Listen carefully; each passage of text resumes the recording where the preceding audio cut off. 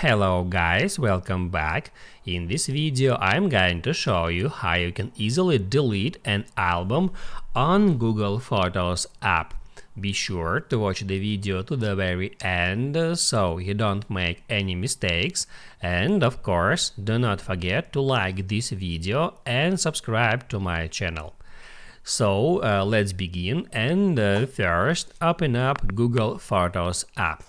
Then get into your uh, library. And right here it shows you your albums.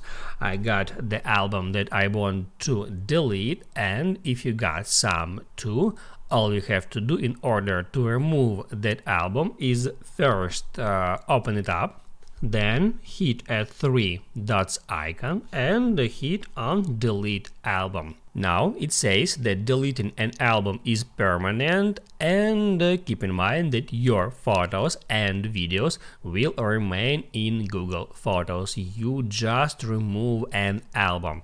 So I'm gonna hit add delete album and uh, in 5 seconds you can hit add undo to cancel the deletion and uh, let me delete it again and uh, that's all about how to delete an album on Google Photos. So now you can write down in the comments below if you have any questions about that tutorial. Hit the like button if you like that video and uh, see you in the next one.